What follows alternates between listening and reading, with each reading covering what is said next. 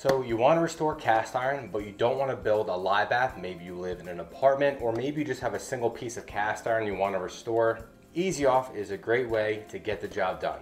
Now you're gonna want the Easy Off with the yellow cap. This does contain lye, so this is gonna strip off all the old seasoning, gunk, and carbon buildup, just like a lye bath, but this will not remove rust. If you need to remove rust after the Easy Off, you're gonna wanna build a vinegar bath.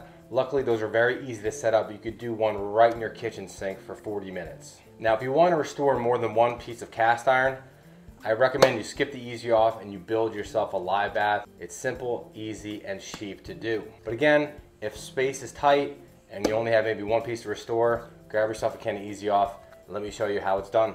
So in this video, I'm not restoring anything fancy. This is a modern lodge piece. This is actually my neighbors. They gave this to me like two months ago to fix up for them. Uh, it probably doesn't even need to be stripped down. It just has a tiny bit of rust. The seasoning's a bit uneven. So I really could probably scrub this down and season it. But I want to make this video to show you guys how to use the easy off method. So I'm going to use this piece. Nice and simple. It's going to be easy. Now, I don't do this very often. That's actually been a few years. And I would usually do this outside because the easy off does give off some nasty fumes. Um, but it is crazy rainy and windy here in New Jersey right now, so I'm doing this in my basement. Again, this is oven cleaner, and you use oven cleaner inside your house. Just make sure you're in a well ventilated area. Now, definitely make sure you have long gloves for both your hands. Now, what you're going to see me do is spray down the skillet with Easy Off on this garbage bag. I'm going to try and spray all of the surface areas. Whoopsie. all of the surface areas here and then I'm going to essentially turn this um, garbage bag inside out.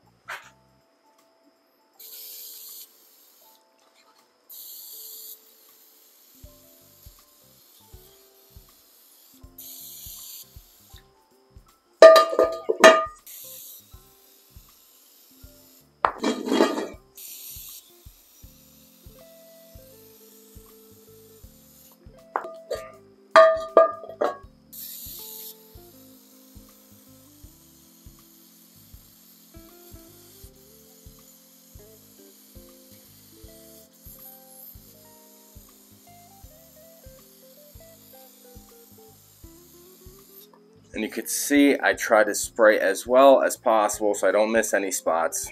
Now, with one hand, I'm going to attempt to turn this garbage bag inside out.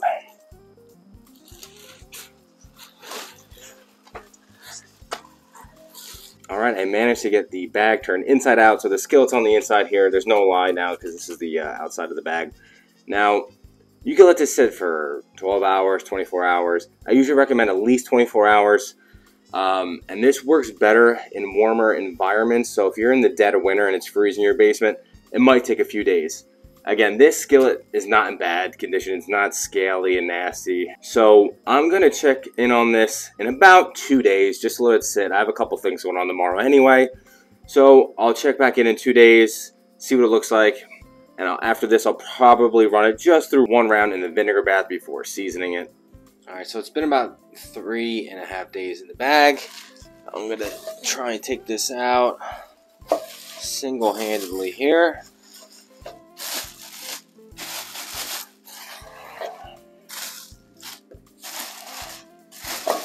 There we go.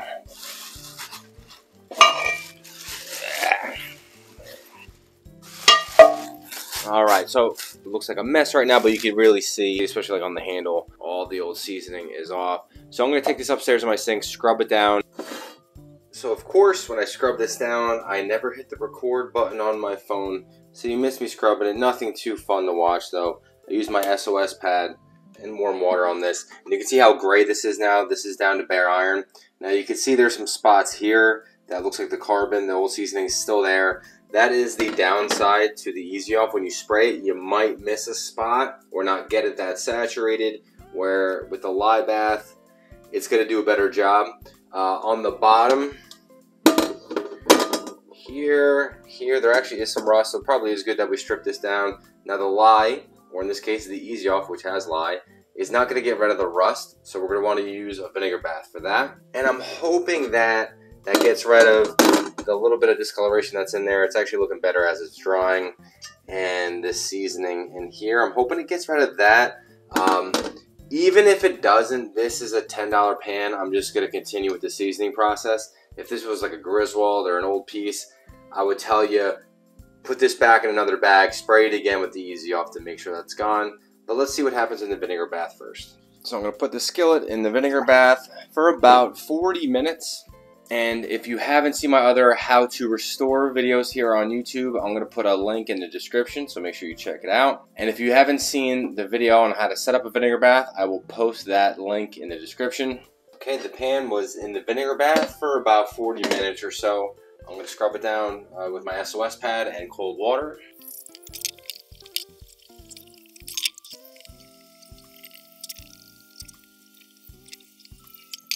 Alright, so after the scrubbing, you can see those rust spots came out. There's a bunch on the side as well. Tiny bit of discoloration here on the bottom. Cooking surface looks solid. Little bit of discoloration still here. Got a little bit of carbon that got left behind. Now, I've restored modern Lodge pieces before, and although this is a cheap piece, really I should say very affordable piece, people do tend to knock them, but these things really take seasoning well. And the last time I restored Modern Lodge, I only had to put it through three rounds of seasoning, where normally on antique pieces I'm doing at least four, maybe five rounds of seasoning to get it really dark. Last time, just three rounds made it look great. And I have a feeling this is going to blend in really well with this seasoning. And a couple things before I get it oiled up. Again, I use cold water after the vinegar bath because this has no seasoning on it. So this will slowly start to rust we call that flash rusting. Scrubbing in cold water slows that process down. So I'm gonna get this thing oiled up. I'm gonna run it through, let's see, three, maybe four rounds of seasoning. I'm not gonna film that just to make this video shorter. I will post the link in the description showing you how to season your cast iron if you have not seen that video yet. Okay, the skillet's been through three rounds of seasoning and you can see that that discoloration did blend in pretty well. It's pretty uniform, it looks great. So same thing for the bottom, pretty uniform. You can see that minor discoloration just a little bit. After a couple uses, this should blend in beautifully. I mean, it looks great. And like I said, these modern lodges, they take in seasoning really well. And of course, I use my cast iron Chris seasoning and maintenance compound. So Easy Off is a great alternative to a lye bath, although I will recommend a lye bath over the Easy Off method. But if you don't have the room for a lye bath, or maybe you just want to restore a single piece, the easy off method is great.